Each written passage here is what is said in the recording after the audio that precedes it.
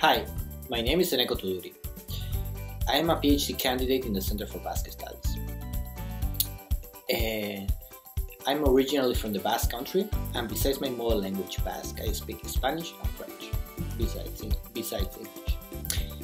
As an art historian, I have been researching my PhD topic since 2000, 2015. This topic is the medieval mural paintings in the Kingdom of Navarre. Navarre was a kingdom that occupied part of the nowadays Basque country in the north of the Iberian Peninsula. Thanks to the Ozmen Institute support, I'm fulfilling my research year in Navarre. Here I do mainly two kinds of research.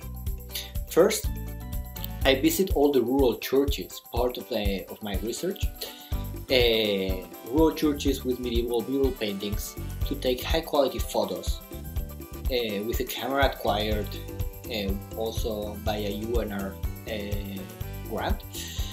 And later, with these high quality photos, I study them under specialist software, specialist software, to see details you're able to see with the bare eye.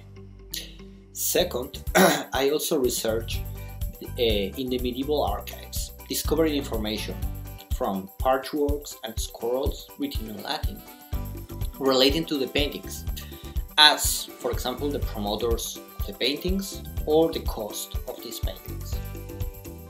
Finally, I need to say that I'm grateful to the opportunity given by the Ozmen Institute for Global Studies uh, to finally be able to do my fieldwork in Navarre and finish my PhD dissertation.